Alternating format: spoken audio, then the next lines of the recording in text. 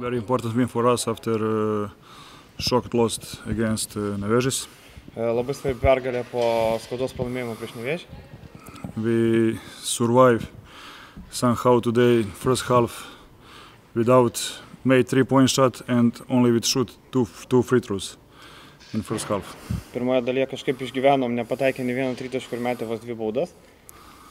But we keep playing with uh, very good intensity in uh, in defense, and uh, that's that's that's something what uh, very help us to to win.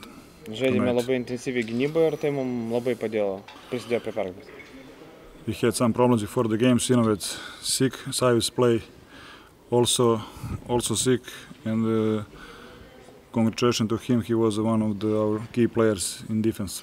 E, Prieš rungtynės turėjome problemų, Sinovicas serga ir Sajus žaidė sirgdamas ir treneris pasveikino jį, kadangi jis buvo vienas svarbiausių žaidėjų gynyboje. Um, you mentioned the free throws. Uh, in the first half, opponents uh, throw 21, I guess. What, Yes. what was the, the problem about this? It's good good for me that you ask me that question. I don't want to talk about that, but it's very strange that in home court we shoot two free throws and other team 21, and we finish. They shoot 34, we shoot 13 free throws. Uh, of course, we we must. Uh, but I cannot say that we don't play inside. We try to put the ball down, we penetrate, but okay. The most important thing that we win today.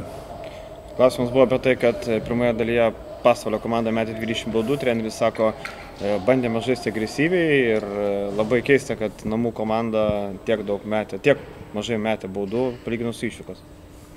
Uh, what was the key in the third quarter that you got a lead?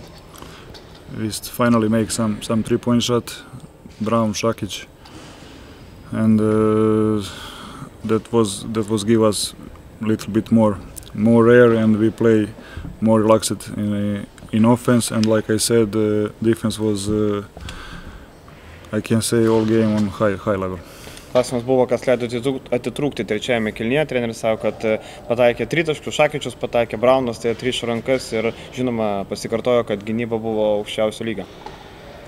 Uh, talking about defense against John Gillen, he's uh, top scorer of- the league. I believe today it was good defense against him too. we we how to say we, we I tell player to pay attention on Gilon and uh, on Lapornik to the best scorer in uh, in piano. Gilon didn't play so much, but we play aggressive pick and roll defense defense against against them, and uh, we don't allow the open shot to to Lapornik. We try to even switch with him, and uh, you know today was good. At Wednesday it was terrible. Klausimas buvo apie Giloną, kad šiandien buvo išjungtas iš žaidimo, treneris sako, kad akcentavo Giloną ir Laparniką, kurie yra geriausi taškų rinkėjai. Sako, šiandien pavyko apsiginti, Gilonas žaidė nedaug, o prieš Laparniką pavyko keistis gynybą ir tai suveikė, kas trečiadienį visiškai neveikia. Na, manau, kad labai prastas trečias kelinys lėmė Lietkabelio pergalę. Jeigu pirmus du kaip ir tvarkėmės, ketvirtam atrodo irgi likti kažkiek bandėm grįžinėti rungtynės.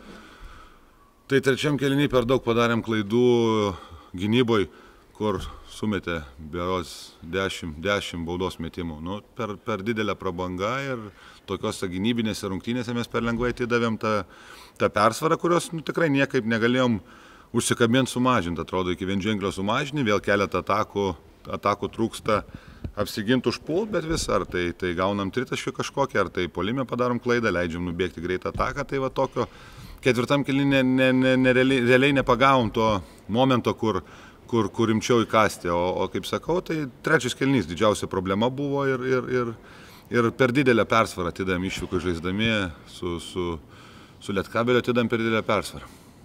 Varžovai vėl gan ryškiai laimėjo kovą dėl atšokusių kamolių, tai turbūt tas kol kas yra pakankamai didelė problema šitam sezonui. Ne, jokios problemos nėra. Nu, mes žaidėm be savo centro, be Petreliaučius, kuris mums mum yra pagrindinis žmogus renkantis kamuolius. Tai, ta prasme, kamuoliai visada bus. Jeigu tu pralaimi kamuolius, tai yra didelė, ta prasme, problema. Bet aš nenoriu išskirti to faktoriaus, ne dėl to mes pralaimėjom rungtynės tikrai. Pirmoje rungtynių dalyje metėte 21 baudos metimą, varžovai tik 2, kas tą lėmė. Agresyvumas. Pakankamai agresyviai žaidėm ir ir manau pasinaudojom tuo nes mum kitaip žaidimas nesisekė pataikyt iš toli nelabai pavyko. Naudojomės tuo agresyvumu naudojomės lietkabelio išsikeitimu ginamaisiais ir stengiamės tą išnaudoti. Ir ir vat gal gal trečiam kėliny tiek kažkiek to pristigo bet bet vėlgi sakau tai daugiau žiūrėčiau gynybinę pusę nors taškų nedaug įmetėm bet gynybinė pusė mum trečiam kėliny mus pavedė